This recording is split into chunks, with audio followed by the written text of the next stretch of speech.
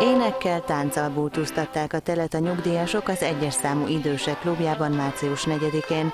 Minden évben megrendezik a farsangi mulatságot, az eseményre jelmezzel, produkcióval is készülnek. Hosszú hetek óta készülünk, és hatalmas lelkesedéssel. Én úgy érzem, hogy itt keltem életre a klubban, a kórusban. A délutáni rendezvényen sokan táncra is perdültek.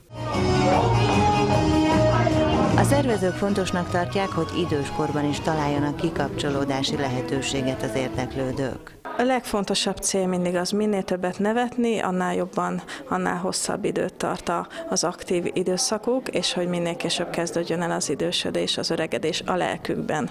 Igazából ez a cél. A farsangi időszakot a hambazó szerda zárja le, majd a 40 napos bőjt követi a keresztény hit szerint. Ennek elsősorban az a célja, hogy lelki foganatja legyen a dolgoknak, hiszen hogy az egyik lelkiíró írja, ha megregulázzuk a testet, akkor a lélek szárnyalni képes. Böjt idején a hívők imádkoznak, megtisztulnak, bűnbánatot tartanak, hogy felkészüljenek a húsvétra.